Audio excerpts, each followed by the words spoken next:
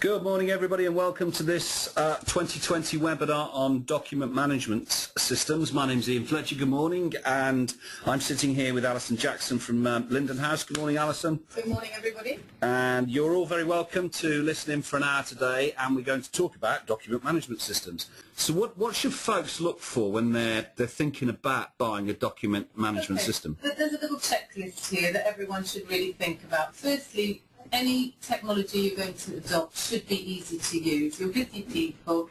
You need to get on with your core business. You don't want to create a lot of downtime in moving ahead with, with a new document management system. So it must be simple or it won't be embraced.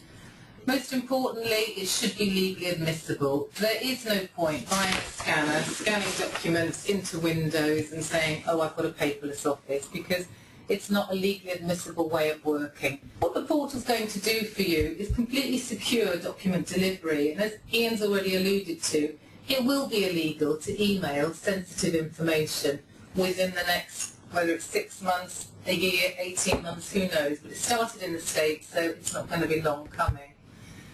The document's held in a secure environment, so only the recipient can gain access to it. The third point here, which is quite nice, you can retract a document back from the portal. So you can retract a published document should you wish. So you maintain control of that document at all times. So I'm now just going to scan in a document that uh, Ollie gave me a couple of minutes ago. Everything is scanned double-sided and the software will delete any blank pages so you never have to change the scanner settings. So I've just scanned three pages in. It looks to me like something you've received from the Hilton. Yeah, we've had a Hilton, bill from the Hilton Edinburgh Grove, Grosvenor, another bill from them. Uh, well, they're all one bill from We can see the thumbnail on the right here of the document. It's keeping the second page because we've actually put hole punches in here. But we can change the scanner setting to see that that is noise, so it won't actually be seen. So there's the document on the screen. That's the thumbnail on the... Oh, there we are. There we are. There's the thumbnail of the document. See that it looks as it should look. And then you can send that directly to your intro. Right, what we want to do is um, we want to file this document. So on the right, these are my filing cabinets. I've got a cabinet for my client information. And then you would have one for marketing, one for IT, one for finance, perhaps one for HR. Now this is the cru- this is the crux of this system, isn't it? You've got to when you put a system in. I think this is the most important thing that you did with me was actually say, Ian, how do you file your stuff in your at your your office?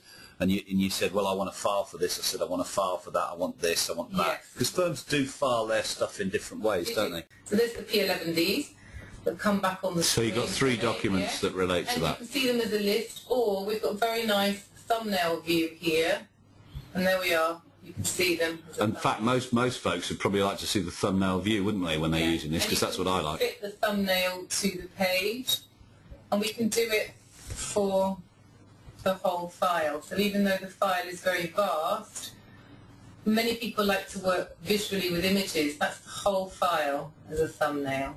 So Now, what's the other stuff that you can do on this? How do you say you've got a client ring you up and, uh, and, and ask a technical question and you want to do a search or, you know, can you do this? Show us the search text. Yeah, we can search the content of what's written on the pages. So that document I just scanned in for 2020. That was the Hilton yeah. Grosvenor. We just look at something off this. Copy of that invoice, 33. Now, what Alison's doing is looking at the invoice now, folks, and she's actually typing in copy of invoice, um, and she's going to retrieve just a key word. I just typed in the copy of the VAT invoice number. So I typed in the invoice number, 330397.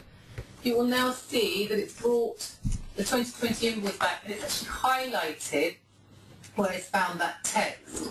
If I now open the invoice up, it's showing me it's found it on page one. And here on the screen is where it's found that, that entry. This is the email that your client will receive saying you've got a secure document. I've sent you a secure document. If you want to view it, you have to click on this link. So it's very seamless. The client, your client, clicks on the link. And that email goes into their normal outbox just saying there's a new document in their folder on the cloud. Yeah, so they get an email with a link. They click the link. And it brings them straight onto the portal. So now this is live. In the cloud, at the virtual cabinet portal. This is the live cloud portal.